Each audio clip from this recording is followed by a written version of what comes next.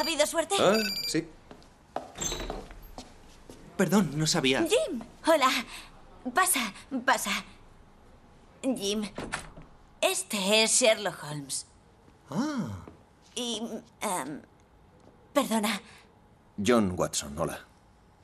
¿qué tal? Con que usted es Sherlock Holmes. Molly me lo ha contado todo de usted. ¿Está con uno de sus casos?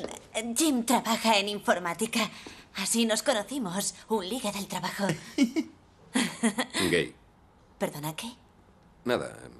Hola. Hola. Perdón, perdón. Mejor me voy. Nos vemos en el Fox. ¿A las seis o así? Sí. Adiós. Vale, adiós. Placer conocerle. Igualmente.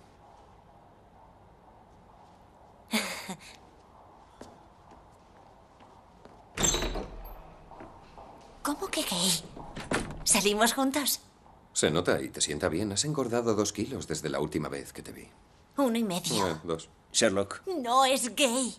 ¿Por qué me fastidias? No lo es. ¿Te has fijado en cuánto se acicala? ¿porque usa un producto para el cabello? Yo también uso Tú cosméticos. te lavas el pelo, es distinto. No, no. Pestañas teñidas, claros indicios de crema antiedad en la frente, esos ojos cansados de trasnochador y su ropa interior. ¿Su ropa interior?